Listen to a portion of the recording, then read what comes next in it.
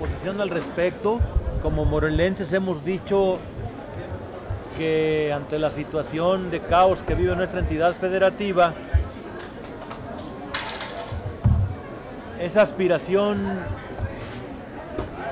esa aspiración como algo a futuro pudiera parecer legítima, pero cuando se está haciendo futurismo político y se tiene la responsabilidad de gobernar, entonces lo que dice mucha gente de Morelos, que como tabasqueño no le interesa el Estado. Y en ese sentido, su postulación hecha por él mismo, bueno, plantea algo más allá de lo que los morelenses podemos tolerar.